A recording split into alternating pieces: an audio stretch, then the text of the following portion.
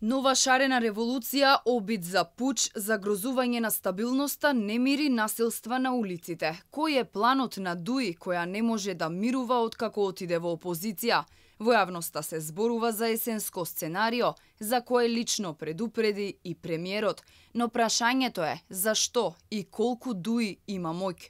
Експертите на есен очекуваат експлозија на ултранационализам. Абсурд е да веруваме дека ќе има некакви насилство од вид на војни, препукувања и така натаму, но факт е, а, и тоа реално може да се очекува, дека ќе има ренесанса и експлозија на ултранационализам. Народот без друго е задоен, без друго 32 години се храни со национал романтизам. Кога сето тоа ќе го испомешаат со баби и жаби на есен, Ја мислам дека нереди да, се возможни, меѓутоа во улични рамки, на ниво на инциденти. Дуи со својата скршена суета ке испроба многу опции, но се чини од и нивната главна реторика дека албанците во земјава се понижени, не поминува толку добро кај нивните поддржувачи. Според упатените, интегративците ке мора сериозно да се консултираат за тоа какви чекори ке преземат од септември, за да не доживеат фиаско, кога голем дел од народот нема да им излезе на протести.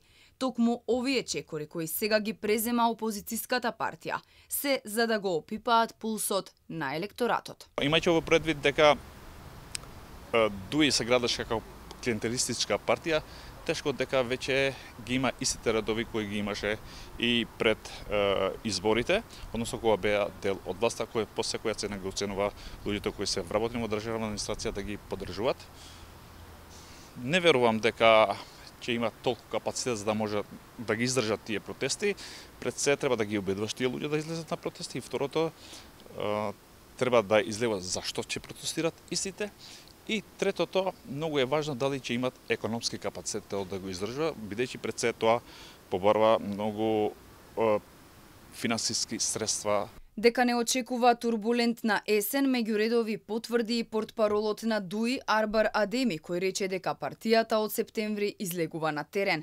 Дуи предходно имаше средба со американскиот експерт Пол Вилиамс, автор на рамковниот договор, кој беше ангажиран од интегративците за да изнајде решение за почитување на легитимитетот и мнозинството. Веќе подолго време се шпекулира дека Дуи од септември ќе и даде ултиматум на актуелната власт или да влезе влезат во влада по принципот победник со победник или ќе бараат предвремени избори.